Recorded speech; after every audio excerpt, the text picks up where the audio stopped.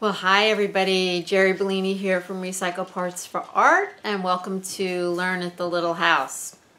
So today's uh, video is uh, an introduction into a new project that I am going to be doing, uh, sharing with you throughout the month. And the project is on rusting. And I already did a, um, a video well, it was a very impromptu video, I have to admit. I decided to rust some fabric one day and just ran outside and started the process and thought, let me turn the camera on. Well, I'm trying to be a little bit more mindful and organized about how I show up for you. And so I decided to do this series on rusting.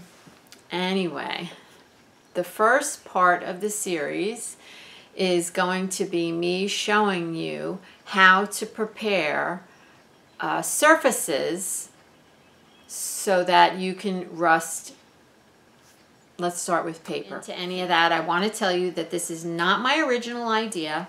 I was surfing around on the internet and I came across um, something on Pinterest and I will put the link to that in the description box below. But I thought, you know, we would experiment together on the concept of the idea that I saw. And so that's the first thing we're going to do. We're going to prepare surfaces that we're going to be able to use going forward whenever you want to rust dye some paper or something else, some fabric maybe. And it's going to be really fun. I've been working on it a little bit um, on the side and it's, it's quite it's quite interesting. So that's going to be the first part. We're going to talk about supplies. We're going to, um, to obviously, we're going to work through the process together. And then ultimately, we are going to do a project with our rusty goodness. Uh, let's get started on the uh, first, very first section of it, which is uh, supplies and preparing the surface. I'll meet you outside. Okay, we're outside. Are you ready to have some fun? I have um, an apron on. I'm wearing um, an apron to keep my clothes from getting all disgusting. And I have all the supplies out here. So what you're going to need for this project is a um, some kind of plastic coating thing, like a plastic tablecloth, or I'm using a contractor's garbage bag. It is on my surface to protect it, baking dishes. And I got mine at the Dollar Tree. And they were a dollar a piece. And you want to look for heavyweight steel bakeware. And these are 13 inches by 9 inches. So they will hold um, a piece of paper perfectly.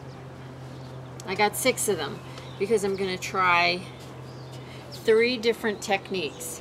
I'm going to use two pans for each one. This this lovely disgusting item I picked up at the flea market the other day and it already looks like it's a little rusty but it's full of disgusting funk and I did wash it. But if it rusts it'll be awesome because you see the holes? It'll be like a stencil. So I thought I'm just gonna add that to the mix. You need some salt I'm going to use kosher you need peroxide and vinegar and I'm using them full strength. You need some sandpaper and or some steel wool and a rag for your hands. So what I what I already did off camera is I took the sandpaper and I roughed up the surface. I don't know if that's 100% necessary or not, but I just decided to do it just because. So I did that to all six sheets. This is number one. I dip this in water, so it's just wet. Number two is um, vinegar. I sprayed the vinegar on, and then I sprinkled the kosher salt. And number three, I put peroxide on it. Now, it would be perfect if it was sunny out, but it's not. And I wanted to get this started anyway. So I'm going to leave this for an hour, and then we're going to come back and check on it to see what is happening with it. All right, so see you in an hour. All right, guys, we're outside, and I'm standing against my house because it's raining out, and we're going to walk over to the table in a moment, but I didn't really want to get my camera too wet. All right, I wanted to give you a close-up view. You can see that there's a little bit of rust here, and it might be because I sanded. Actually, I would swear it's because I sanded it because I can see it. It's on the scrape marks. All right, so that's the water. And this is the uh, kosher salt with the vinegar. And I don't see a whole lot. You see, it's very light. I don't know if you can even see that. Very lightly um, carameling. And here a little bit. Don't look at that one. Uh, very little caramel color right there. Which surprises me. I thought the vinegar would have more. This is the peroxide, okay? And the peroxide is doing like amazing things.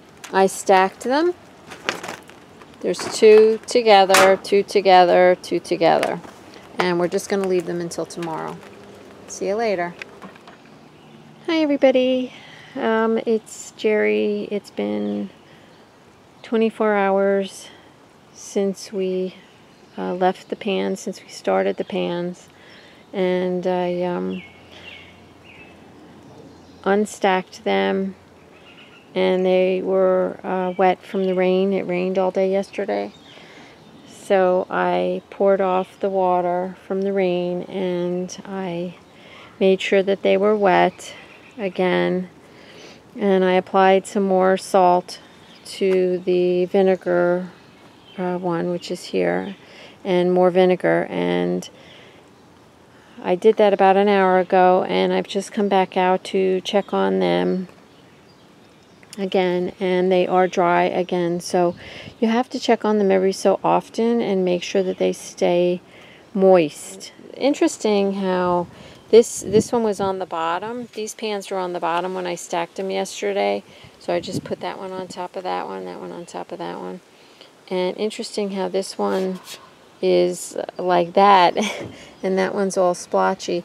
And I'm really kind of curious about the vinegar. They haven't really done anything and this is just water. So uh, I'm going to leave them again for another 24 hours and see what happens. And the um, one with the holes is rusting very nicely. I'm very pleased about that. So we'll see you again tomorrow. I am very disappointed in the vinegar pans, especially that one. Um, th that's just water. I'm trying to figure out why it's not um, rusting like these are. So what I decided to do was sprinkle a little water in with the vinegar in these two pans and um, see what happens. And it's the definite heat of the day right now, so I'm having to come out and make sure that these um, don't don't dry out right, we are back in my art room and I just wanted to tell you that I feel like I'm watching my toenails grow out there. And I decided to up the game a little bit. I'm a very impatient person. So when I did my dyeing, my rust dyeing for the fabric last week, I still had all the steel wool left that I had put in the pan to um, get the pan rusty to dye the fabric and I had it in a plastic bucket. So it's really some seriously rusty steel wool. So I decided to sprinkle it on the vinegar pan and I also put some of my uh, rusty pieces of metal on there too and wet it again with some vinegar and I did splash some water on it. So I'm going to give you a quick uh, view of that and then I am going to just leave it until tomorrow and see what happens. Okay, so you can see what I did. I just put some uh, of the rusty bits of steel wool that I had left over and I just put it in this one pan and we're going to see what happens. I'm just going to leave it now. I'm going to walk away. Jer, walk away. Sorry. Day three. I'm going to clean the stuff out of that pan and I will be right back. Alrighty, I removed the pieces of steel wool and the rusty bits and I rinsed it off and you can see it really doesn't look much different than the one over here. So what I'm going to do now is um, just leave them out, keep wetting them, and at the end of the day I'm going to stack all six, all seven of them. I'm going to stack all seven of them and I'm just going to keep leaving them out here Uh, I think this is going to be like a week-long process. And I'm not going to bore you with it every day. At this point, I'm going to come back uh, when they are rusty, and then I will tell you how long it took. Okie doke. See you in a couple days. Well, good morning, everyone. It is now a week later, and I am outside at the little house on the patio, and I'm about to show you what the rusting pans look like at this point. So let's go look at those right now. I bet you can't wait. okay, everybody, I have to laugh because I think my neighbor's watching me. Okay, sidebar. All right, so here's the rusted pans, and honestly, um, the vinegar really was a disappointment. That's the ones in the middle. And I would say, have to say that the rest of them, they all look pretty rusty to me.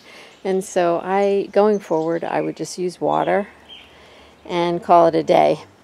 So that's what I learned from this experiment. And look at this lovely goodness. Oh, I cannot wait to play with this. Okay, so that's what's going to happen in the next video. We're going to do a project with our rusted pans. And so I hope you enjoyed this experiment and I hope you might uh, give it a try. If you do, just remember to be careful. It is rust. You might want to get a tetanus shot um, and you might want to be very careful. Wear gloves. Keep a rag handy all the time and definitely use uh, some plastic on your surface. All right, thank you so much for watching. I hope you all have a blessed day full of love and recycled art, and I will see you in the next video.